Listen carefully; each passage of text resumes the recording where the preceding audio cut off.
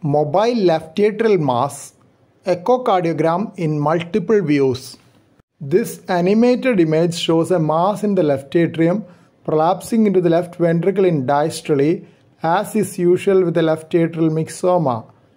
The mass produces left ventricular inflow obstruction as it is across the mitral opening in diastole, almost filling the orifice. In systole, it goes back into the left atrium.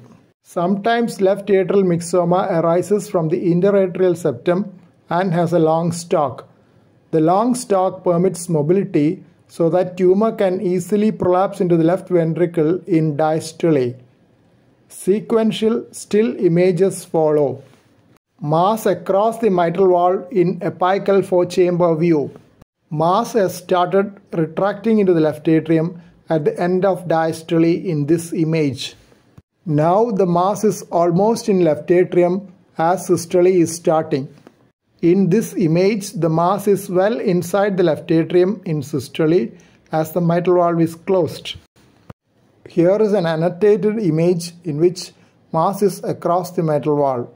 LV left ventricle, RV right ventricle, LA left atrium, RA right atrium, IVS interventricular septum, IAS interatrial septum.